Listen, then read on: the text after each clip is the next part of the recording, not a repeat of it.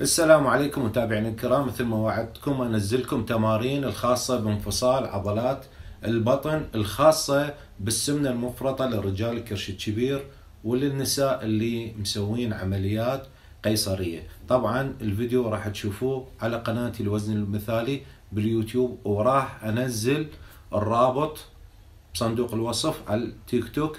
بس أهم شيء لازم تعرفون إنه لازم تبعدون بعض التمارين اللي تزيد من انفصال عضلات البطن اللي هي معروفة مثلا هذا التمرين اللي ناخذه إحنا وجالسين أو إحنا ونايمين هذا يزيد من انفصال عضلات البطن أو إحنا ونايمين وهذا الحركة الدائرية هاي هم تزيد من انفصال عضلات البطن. تابعوا التمارين وإن شاء الله صحة وسلامة. ناخذ هاي الوضعية. ظهرنا بهالوضع ورجلينا بهذا الوضع. التمرين هو أنه نسحب الحوض على الظهر. هاي الطريقة أنه نسحبه.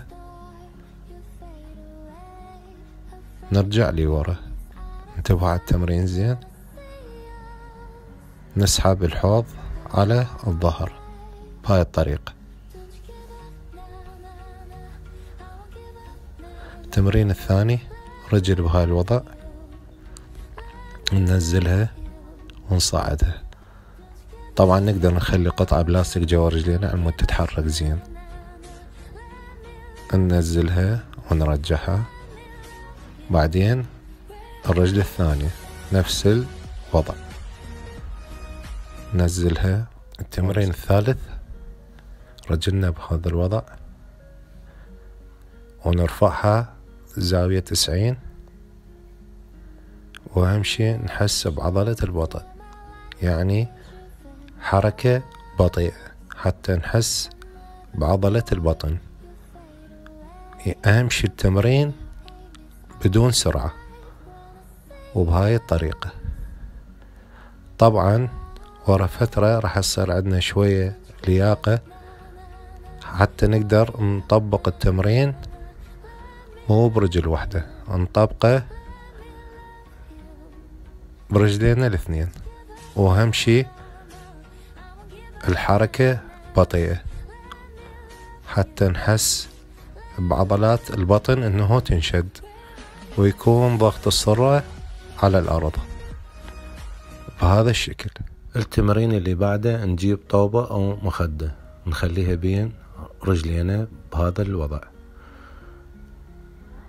ونضغط على المخدة والطوبة من ثلاث ثواني إلى خمس ثواني. بعدين نرجع ريلاكس وراها هم نضغط على المخدة من ثلاث إلى خمس ثواني. ونرجع ريلاكس التمرين اللي بعده. هذا الوضع. وأهم شي إنه شلون التمرين الأول من سحبنا الحوض على الظهر ونكمل التمرين للأعلى. بهذا الوضع. أهم شي نحس بالصر نطخ بالأرض من نتمرن وبهاي الطريقة إنه نسحب الحوض وبعدين نرفعه للأعلى. هذا يفيد العضلات السفلية للبطن وبنفس الوقت العضلات الداخلية للأفخاذ.